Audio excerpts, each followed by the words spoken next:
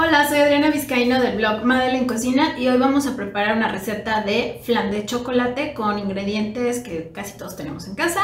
Está súper sencilla la receta y como en el blog siempre te doy primero los tips para cocinar.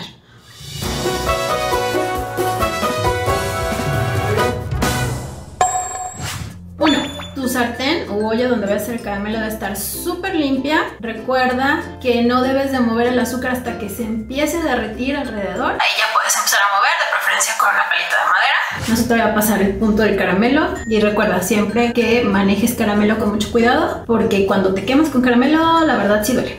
2. Puedes cocer en olla de presión a María, va a tardar 20 minutos aproximadamente y lo padre de esta receta es que puedes cocinar a baño María en el horno o en la estufa. ¿Cómo sé que está listo? Bueno, tocas la superficie del flan, ya no se debe estar moviendo, debe sentirse como un colchón firme, entonces significa que eso ya está listo. Lo sacas y lo dejas enfriar. Entonces la receta a continuación y recuerda que al final están los ingredientes en una lista y eso sería todo.